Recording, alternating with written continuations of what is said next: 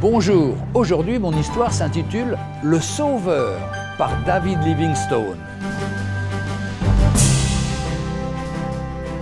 Au cœur de l'Afrique, David Livingstone rencontra des caravanes d'esclaves enchaînés les uns aux autres qu'un marchand emmenait vers la côte pour les vendre.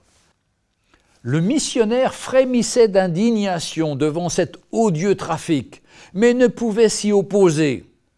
Voyant un jour dans la triste colonne un homme plus pitoyable que les autres, il interpella le marchand. Combien veux-tu pour celui-là? Je te l'achète. Le marché conclu, on délia le malheureux qui restait là, persuadé qu'il avait simplement changé de maître. Mais non, lui dit Livingstone, tu es libre, je t'ai racheté. Alors l'autre s'écria, je veux rester avec toi et te servir librement puisque tu as eu pitié de moi.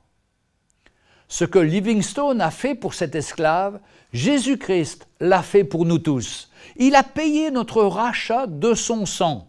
C'est pourquoi nous le servons non plus dans un esprit de servitude, mais librement, par amour et par reconnaissance.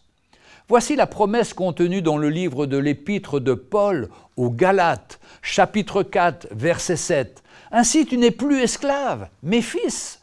Et si tu es fils, tu es aussi héritier par la grâce de Dieu. Dans le livre de l'Apocalypse au chapitre 5 au verset 9, il est écrit, concernant Jésus, tu as racheté pour Dieu, par ton sang, des hommes de toute tribu, de toute langue, de tout peuple et de toute nation. Faisons connaître à tous ceux qui sont encore esclaves du péché qu'ils peuvent être rachetés gratuitement de leur vaine manière de vivre par le sacrifice de Jésus-Christ à la croix, afin de vivre une vie de vraie liberté, libre du péché et recevoir la vie éternelle. Retrouvez un jour une histoire sur www.365histoire.com.